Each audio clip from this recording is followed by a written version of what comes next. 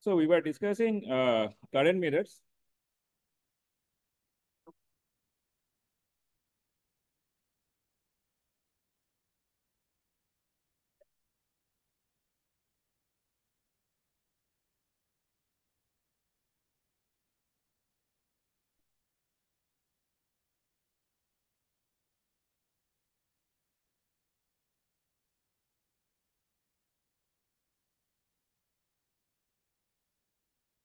Okay, so we were discussing current mirrors and obviously the discussion makes sense if we include channel length modulation. Without channel length modulation, we don't need the transistor on top because uh, the output impedance of M1 would have been infinity. The reason we have the transistor on top, the reason we have the transistor on top, that is M2, is essentially to shield.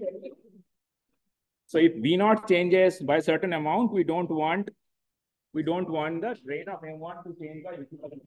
So we put a cascode transistor to ensure that the swing at the drain of M1 is, is minimal. Okay. So, so this we have discussed ex extensively. So now let's get, get to, uh, now let's get to the properties of the current mirror or the properties of a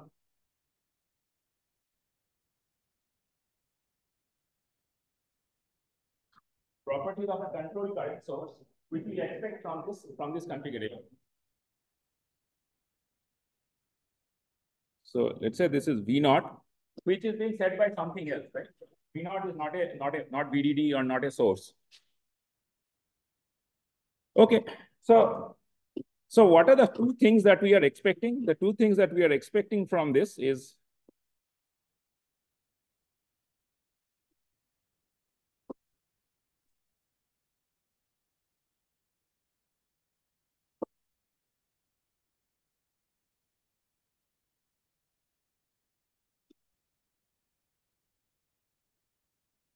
Get rid of this.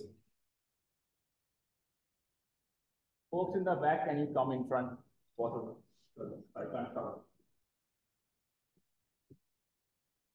Okay, so am I audible in the back? I presume not. Please come, come in front.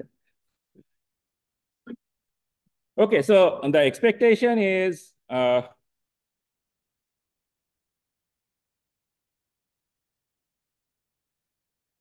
I1 should be equal to I naught. That is number one. And number two is this is under, this is let's say 100%. And the second expectation is even if V naught changes, so this is delta I, let's say, and this is delta V, delta V naught. So delta I should be almost equal to zero if delta V naught is finite. Right? So essentially what we are trying to do, we are trying to mimic a good current source. Right? A current source is something where even if the voltage across the current source changes, the current doesn't change. In other words, what we are expecting is even if, if we have, in this case, the voltage across this current source is essentially the change in V naught. If V naught changes, I don't expect any change of current, right? But I mean, uh, it's not a real current source, so obviously there will be something. So it's as long as delta is approximately equal to zero, what is approximate uh, depends on applications. But as long as delta I is approximately equal to zero or much lesser than a single transistor case, we are good, right? So in this case, uh, this, this, if we attack the second part first, so now it should be pretty obvious. Can you tell me if V naught changes by delta V, what will be what will be delta I?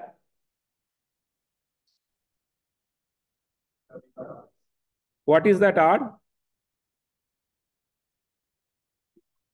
Right? So, so delta I will be delta V naught over R equivalent. What will be the R equivalent? In the presence of channel length modulation. Which means that this has RDS1, this is RDS2. So R equivalent is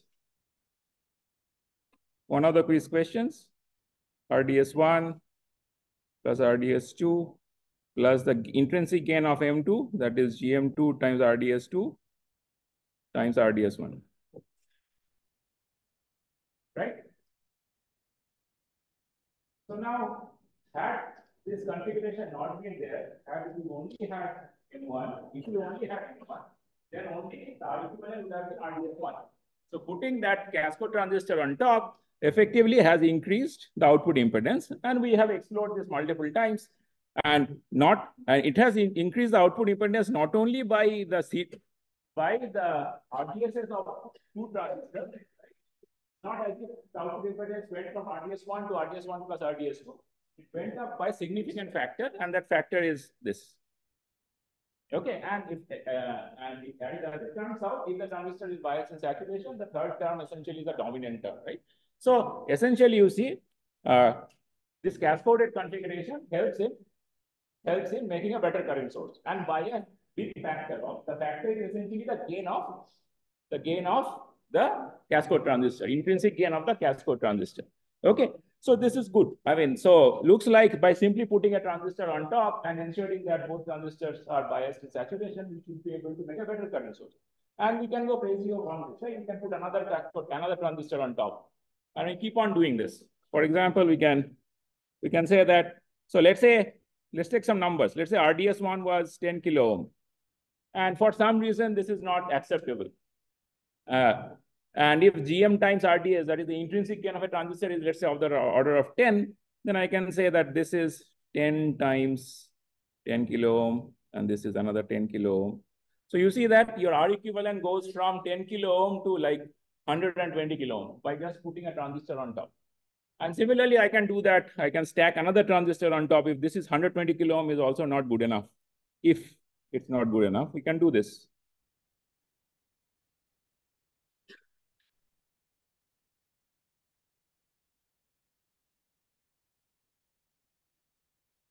This becomes V naught. I can say this is VB2, this is VB3, this is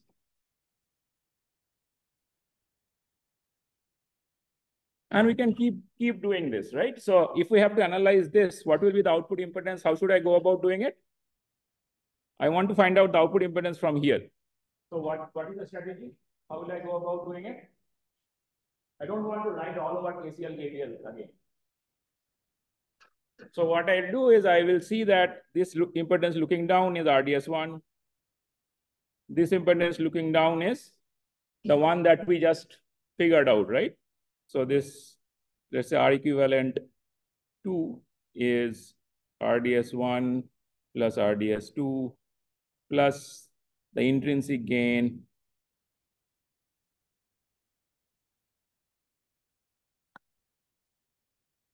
of M2 times RDS1. So, so this becomes the R equivalent.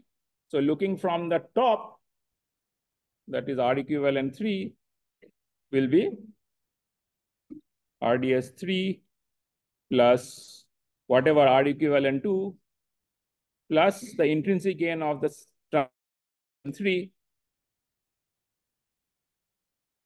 times R equivalent 2. And if we take R equivalent 2 will be only this, and your R equivalent 3 will only be this, right? So as you see, when you can go crazy and you can keep on putting one transistor on top of each other, and you will get very good output impedances. But this comes at a cost, and we'll discuss the cost uh, as we go ahead, hopefully by the end of today's lecture, if not uh, in, uh, in tomorrow's lecture. Okay, so uh, so this so increasing output impedance is easy. So that's that uh, that solves that kind of addresses the point number two. But what about point number one? So let's look at point number one also.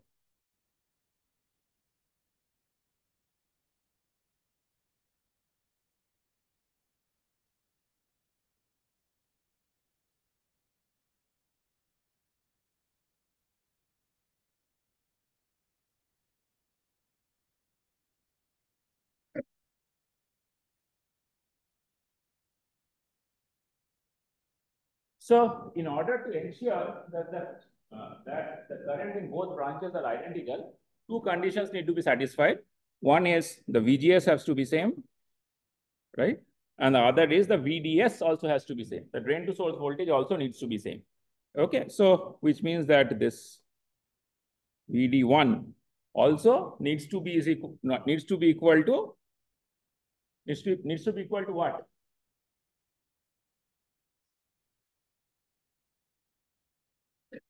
VGS, right? VGS of M0 and M1. Okay, but now now again just a just to ensure that we are all on the same page. Who sets the value of VD1?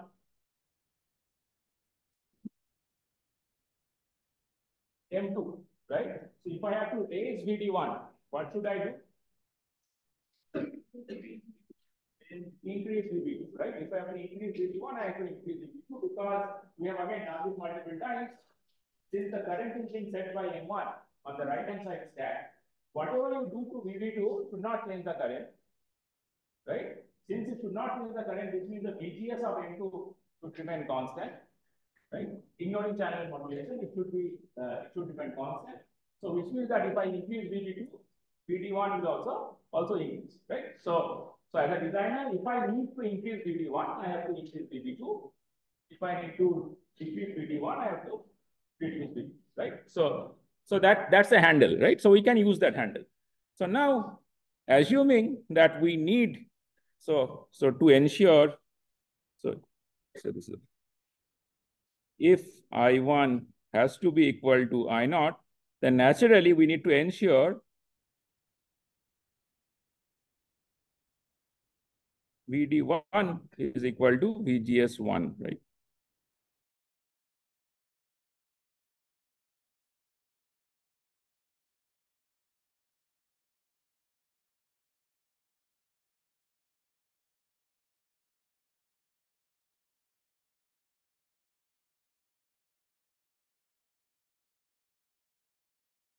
In other words, what I'm saying is, I do not have a direct control on VD1.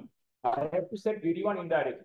And the indirect handle that I have is the is VB2. Right? So if that is that is the indirect handle that I have, then I need to set the value of VB2 in such a way that VD1 is exactly equal to VGS1. So what is that value of VB2 that I am looking for? Or the expression?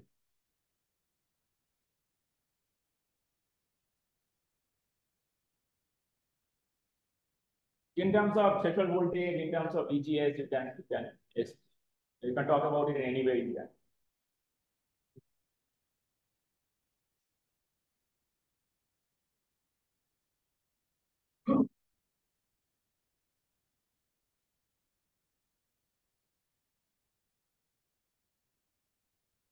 Comments?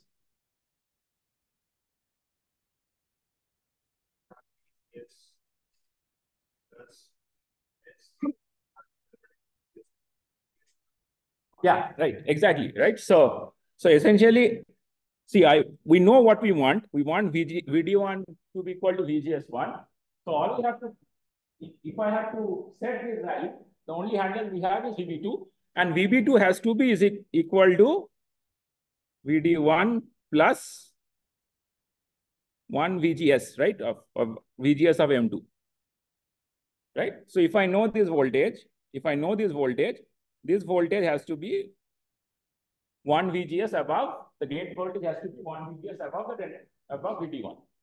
Okay. So, so I mean, this is quite obvious, but the thing that is uh, that will follow is how do I how do I generate this how do I generate this VGS2, right? So so if everything works, this becomes VGS1 plus VGS2. So this VB2 has to be equal to VGS1 plus VGS2. Okay, so it is our job to manufacture a voltage VB2 which is equal to sum of VGS1 and VGS2. So now one way to go about doing it is to say that I'll, I'll do the math, I'll get a value. Let's say for some, the value comes out to be 2 volt, right? So I will manufacture a voltage resistive divider, get 2 volt out of it and connect it at VGS, at VB2 right? It's quite possible. What I mean is I will manufacture a resistive divider from a voltage supply and I will calculate it. I'll find out these values of R1, R2 in such a way that VB2 becomes equal to this value. Right? So that is that that can be done.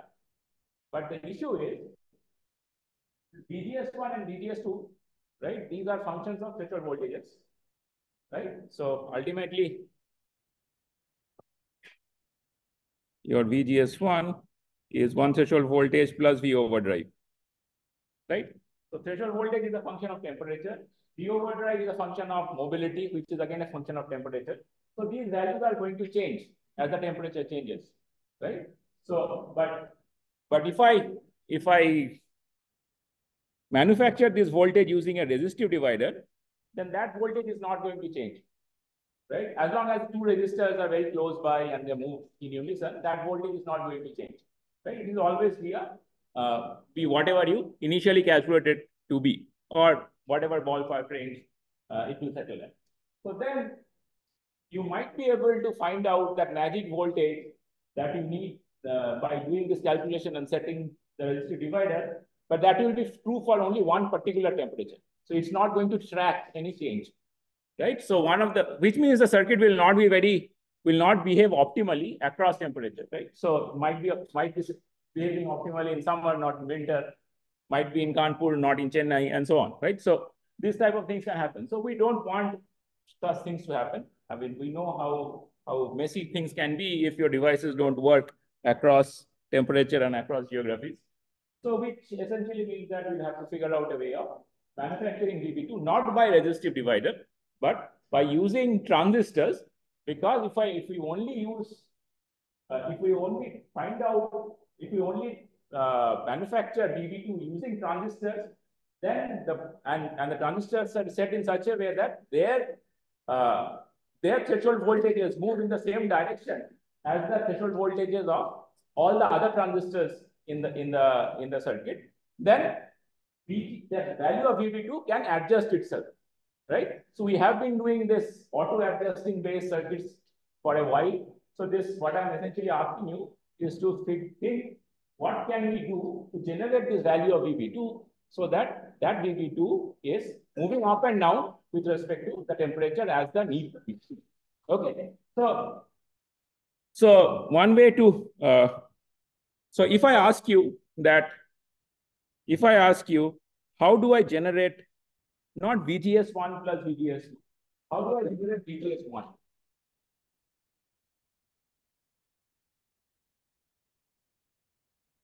Could be pretty straightforward. It's staring at our face. How do I generate VGS1? Yeah, right. So this VGS1 is already generated, right? The VGS1 is already generated, and this VGS1 is can move up and down with temperature, right? Because VGS1 is one threshold voltage plus overdrive. Okay. So, but I need VGS1 plus VGS2. And I want to generate it in the same manner that the way I have generated VGS1. Because if I generate it in this manner, then it is possible that the, with the change in threshold voltage, that value will also move up and down as we want. Okay, so does that make sense? Okay, so so let's break the circuit down. So we want, we, we know how to generate VGS1, which is one threshold voltage plus V overdrive. So can you suggest a way to generate, let's say, VGS1 plus VGS2, or twice VGS1?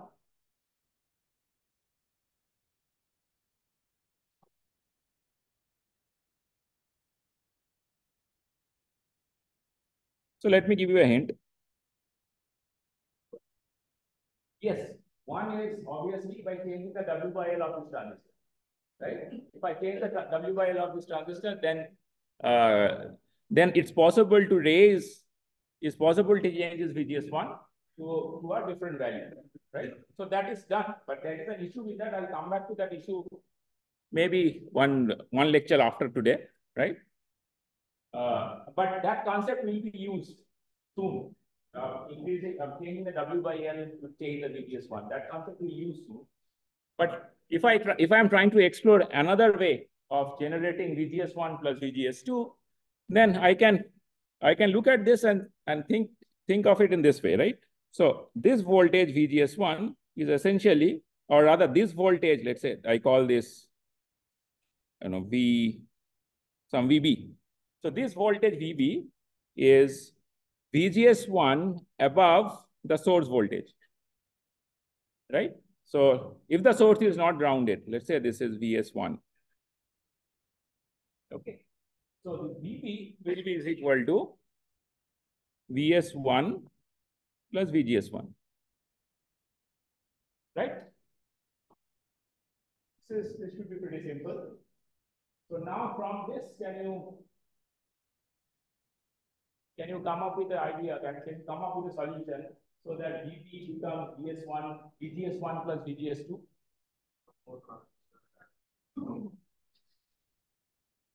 So we understand that this current is I naught. And if I do this, this voltage will be, let's say I call this, I just, okay, so let's, let's call this VGS2. So this voltage becomes VGS2. So which means this voltage is VGS2, which means this becomes v, VGS2 plus VGS1.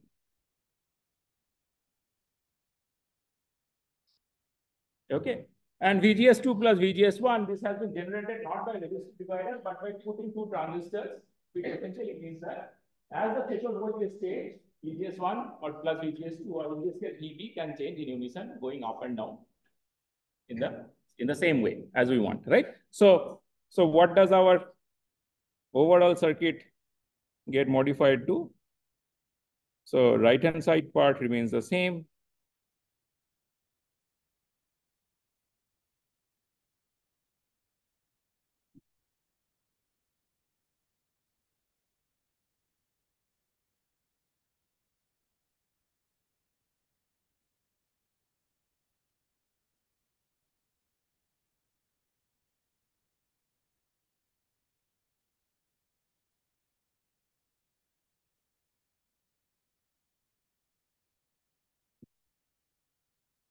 So call it M0A. And there is, I mean, the way I sketch this, uh, ideally this, this bottom one should be VGS1, the top one should be VGS2, because that's how we have named it. So, so let me call this VGS1 and let me call this VGS2. And the constraint here is the the thing that we have to ensure is obviously M0 is equal to M1. W by L of M0 is identical to M1. Otherwise, there is no hope for these currents to be identical.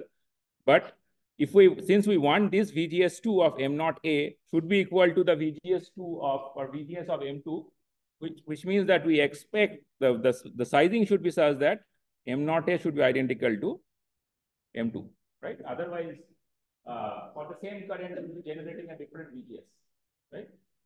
Okay, fine. Any questions till now?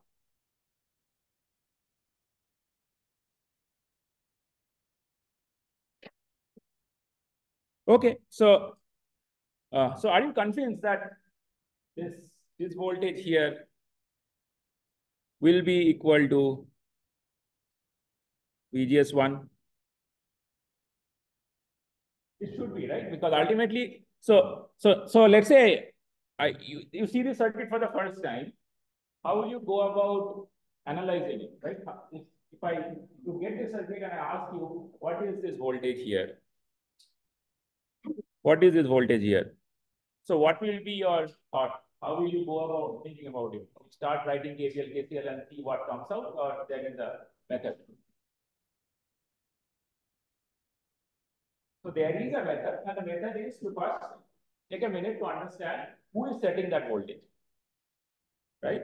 So, so if we understand that this is a cascode transistor, in a cascode transistor, and assuming M1 is in saturation, this current is being set by M1, which means that we cannot affect that voltage by doing anything to M1, right? The only way we can affect that voltage is by, is by changing this voltage, which means that I have to figure out who is setting that voltage, right? who is setting that voltage? How do I go about figuring it out? I understand that this voltage is equal to one VGS of this and one VGS of that, right? So, so you start from then, you start from here, you start from ground, then you say that this voltage is one VGS above ground, this voltage is two VGS above ground, and then this voltage is one VGS minus whatever I had to right? So, so essentially, the way I would go about it is to say that this voltage is VGS1, this voltage is VGS2 plus VGS1, and you have a drop of VGS2 here. So this voltage becomes VGS1. Okay, so, so you don't even need pen and paper, right? You can simply uh, uh, simply look at it and uh, and argue. Okay, uh, so so far so good, but this circuit has an issue. Not that the current is not getting mirrored, not that the R naught is not very high. In this case, R naught will be high and the current will be a better, the current will get mirrored in a better way with uh, had this cascode transistor not been there.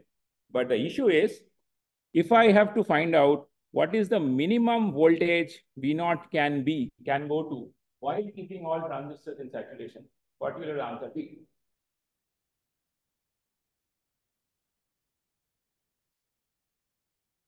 what is the minimum voltage V naught can go to? Let's say some circuit is attached to it, right? Something is attached here. I need to find out what is the minimum voltage that V naught can go to. What is that voltage?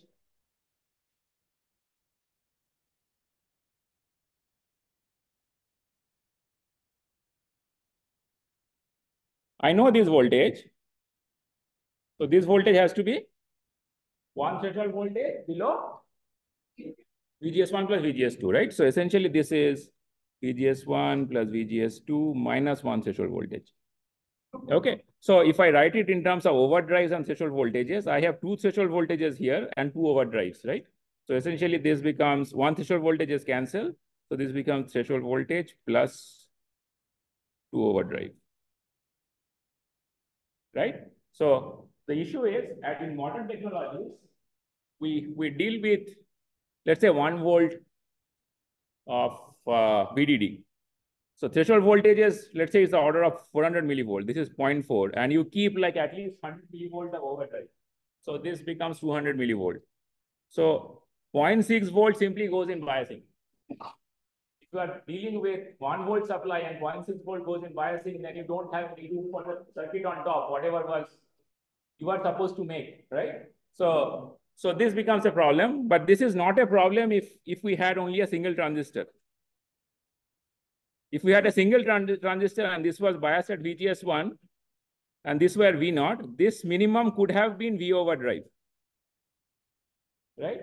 So this minimum could have been only 0.1 volt. Right? So the cost that we pay by putting cascode transistor one on top of each other is this. We lose swing limits right? We lose swing limits, right? So tomorrow's class, we'll see how can we modify this architecture while retaining all the good things about mirroring and high impedance and all, but maybe not lose so much of voltage. Okay? Okay, thank you.